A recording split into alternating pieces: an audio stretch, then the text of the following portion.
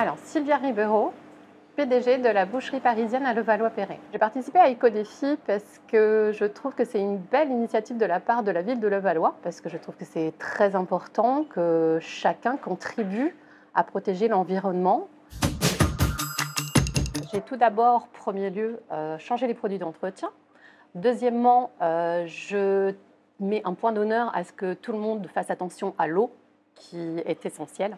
On fait également euh, le tri sélectif parce que moi j'estime que c'est une chose très importante que tout le monde doit faire.